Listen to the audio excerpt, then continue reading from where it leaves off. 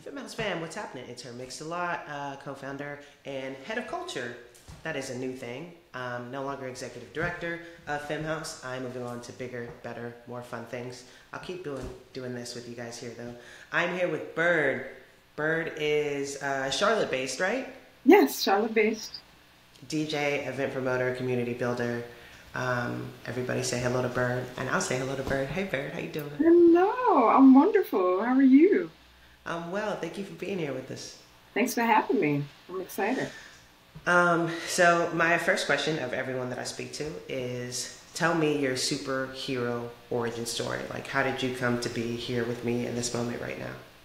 Oh wow. Um, it's been a journey. Let's just let's just start there. Um, always been a lover of uh, music. Um, I first started off as an artist. I, I made hip hop. And um, I did that for a few years, and then this thing called the pandemic happened, and so um, forced us to be inside, and I learned how to DJ. Um, before that, I dabbled in it, but I really had the free time and the creative energy to just flow in it. So I um, have been DJing for about five years now, um, doing this music thing. Um, I've um, explored different avenues of it, um, from DJing with artists. Um, you know, I might run a set for for a hip hop artist, or um, I might do a private event or a sporting event. so it's been a it's been a fun journey thus far. And yeah, that's how I'm here today. When you sat down and decided you wanted to learn how to DJ, how did you learn? What like what was your first step? Were you watching YouTubes? Are you hitting up the homies? Like what? Yeah, so um, I was blessed to have. Um, so back before DJing, I was in a retail space, and my manager at the time um, was a DJ. And so I had talked to him a, a, little bit about, you know, wanting to learn, and he happened to have a whole bunch of gear. And he was like, hey, you know, I just happen to have this controller and these speakers. Um, you know, you should you should buy it for me and, and learn how to DJ. So I did that. Um, he taught me the the beginning, you know, where things were. Um, but YouTube University was my best friend. Um, was definitely on there. Um, just figuring it out, and and honestly, just messing around. Yeah, learning from scratch is what I like to say. You learn from you learn to scratch from scratch. yeah. So speaking of scratching, I'm I'm I'm going to see uh, Missy Elliott and Timbaland tonight. And um, exciting. I'm gonna I'm gonna take the spirit of your scratch with me. yes, please do, please do. The closest yeah. they're coming to Charlotte is um is actually Atlanta. And I thought about going because I think I think they'll be here at the, be there at the end of the month. So that's gonna be dope. I think, I think, you should go, but I'll let you know how it was. Yeah, please do, please do. This is one of my faves. so um, you're a hip hop artist and then the pandemic comes, you sort of change lanes, you start learning how to DJ. Um, how did your sort of like hip hop roots, obviously, it feels like sort of a stupid question to ask, but how did your hip hop roots sort of inform your DJing journey, especially as you started to sort of expand genre wise? I know that in your bio you say, you know, Afro tech house, Afro beats, uh, electronic, like it runs the gamut. So Mm-hmm. How uh, how did one hand wash the other? Um, well, obviously that was my base, my base for the for the for the rhythm. Um, I'm a big fan of jazzy hip hop, so that kind of took me into a jazzy lane um, for a bit. Um, and then I really got into um, finding remixes on the internet, getting on SoundCloud and just just searching my favorite hip hop song and yeah, then discovering a remix and I'm like, ooh, what is what is this? What do what do we what do we call uh, this sound? So that's kind of how um, hip hop took me into an electronic um, space. You know, a lot of a lot of electronic s- songs and sounds. Um, you know, take little elements of hip hop yeah. and, and, throw them in there. Um, so yeah, that was a really uh, a really qu- great question. So I like all styles of music. I listen to a little bit of um, everything, but that was definitely the base. because when I first started, I had the idea of like DJing my own set, like performing and then like DJing my own my own. Site? Yeah. I was I was still from what it's worth. I would still like to see that. I uh, I kind of did that a little bit um, when I would go online on like Facebook Live, you know, back uh-huh. when yeah, the pandemic, and just kind of do my thing. So yeah, yeah. Well, if you were to if you were to resurrect that uh, programming, I would be I would be front and center for that. I would. I keep you posted. I keep you posted for sure. Right, for sure. um, how has I mean, you know, one of the things I hear you'd be maybe you wouldn't be shocked actually since you're one of them but you know since the pandemic and since i started doing this segment of the radio show i would say that a cool 60 to 70 percent of the people that i talk to have just learned to dj over the pandemic um, wow.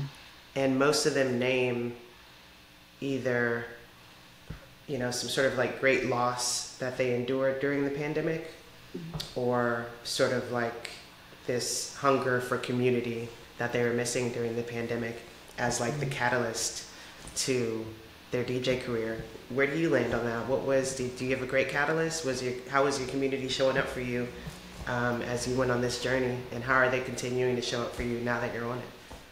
So I say I built a lot of my community online, and then it transferred into real life. Um, so um, I took to DJing because I couldn't perform live in person, so I would get on Facebook or I would get on Instagram as much as it would allow me. Because at a certain point, it would cut out. You know, you get cut only, off, yeah. only, only cut, cut on to the to the songs and things.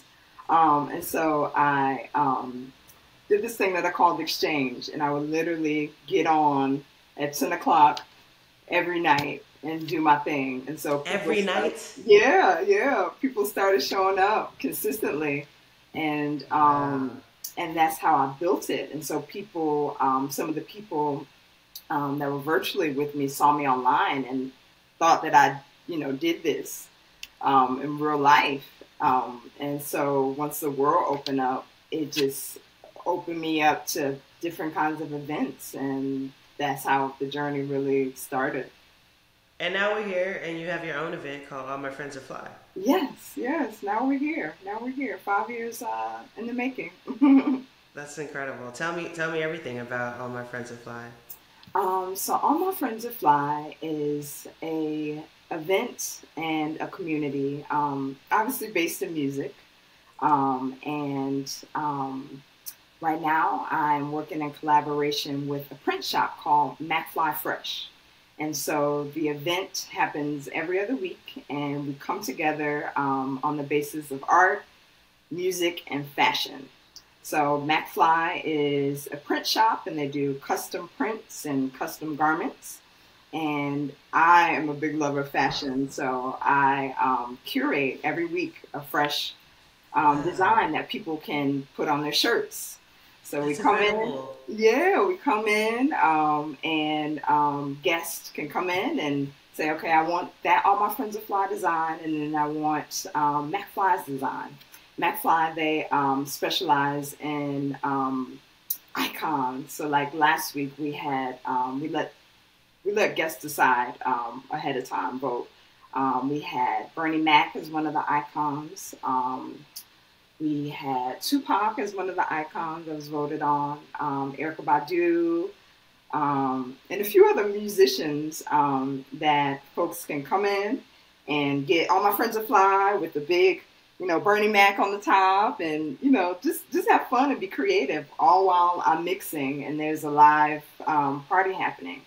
So um, it's been fun to explore. It's um, definitely a very engaging space because we have the dance floor um, with the live music happening. We have the the um, print um, activation happening where folks can actually screen print their own things, and they're also welcome to bring, you know, if you have a we have some folks bring like a denim jacket or you know a, a bag, a canvas bag that you want the designs on. Um, they can come in and bring that in, and then we also have games for people to, you know, engage in. So it's a complete vibe. Um, I um, designed it to feel like a living room. So when you walk in, there's a couch, There's, you know, some floor pillows. You can just come in and explore the way you want to explore. Um, so it's been fun.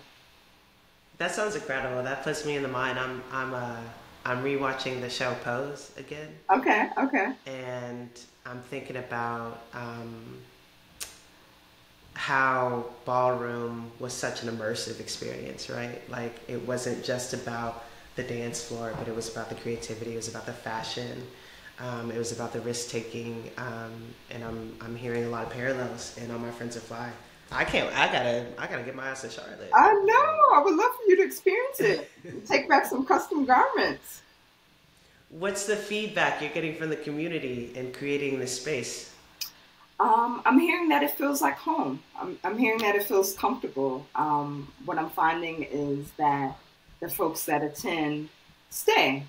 They actually, you know, um, experience the things and they they bounce around. Um, I um, have a blank canvas when you enter, and I usually ask a thought provoking question. Um, and we have some art utensils so people can, you know, draw how they feel. So, like last week, I asked the question, "What color is your personality?" So people, you know, draw what color their personality is, or write what color their personality is. So there's that, and then there's mixing and mingling. Um, so I've gotten really great feedback so far. Um, people are enjoying the music, which I'm having fun with because if because I, I'm creating it to feel like a living room, I want to play like what I want to play. And sure. it's cool that people are receptive to me playing what I want to play because, you know, certain spaces you go in, um, there's a certain um, you know, expectation for the music. Um, so it's cool to just have fun with it and, and do what I want to do essentially. That's amazing. Speaking of music and playing what you want to play, what should the folks expect from the mix? So I'm really into Amapiano. They can expect to hear some Amapiano for sure. Um, they can expect to hear some house. Um, they can expect to hear things that are familiar, but maybe in a different a different way. Um, yeah, I think that's the best way to describe it. What's coming up next for for you? For all the folks that have fallen in love with you over the course of this radio show, uh, um, tell them where to find you, how to find you, where you'll be at, what you'll be up to. So you can find me on all social platforms at Go if you want to follow my personal page. Um, I'm on Instagram. I'm on, you know, Facebook, and um, I'm on. I, I, do have a YouTube, but I'm here there with my personal YouTube. Um, I'm on Mixcloud if you want to hear mixes. Um, I'd also suggest following All My Friends Are Fly. Um, we are going to continue this series, continue to grow it, continue to um, collaborate with dope people fly people that do fly stuff. That's like what I'm all about. Um, a cool thing I also forgot to mention is that with All My Friends Are Fly, we are doing um, live recordings. So oh, wow. um, the events are episodic. So you'll be able to go on YouTube and you know watch a 30 minute segment of the mix, and you know people are mixing and mingling. Um, I am going to launch that on August 1st on YouTube. It'll be brand new. Um, it'll be All My Friends Are Fly um, on YouTube. Um, so, yeah, eventually I'm going to feature other DJs and musicians and um, just continue to grow this, grow this thing out. That's incredible. Yeah. I have a question that I ask of everybody interesting that I speak to, and I'm okay. asking of you right now. What do you say to young bird? You're sitting down across from a, younger version of yourself. It's just the two of you. You're in a quiet room. What do you say to that young lady to make sure that she gets here? Wow. That's an awesome question. Ooh. Keep dreaming.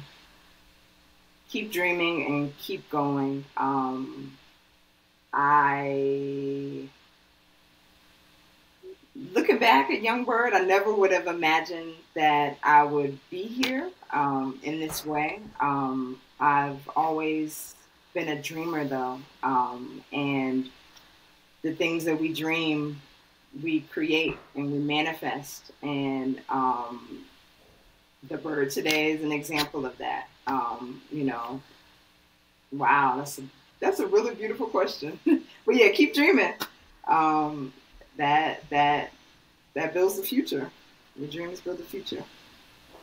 Wise words from a wise bird. the bird is a word, they say. Femme House fam, this is Bird. Go see Bird go. I'm gonna keep watching and cheering. Go Bird go. Thank I'm your mix a lot. This has been Femme House Radio. Pass the mic edition. Yeah, peace.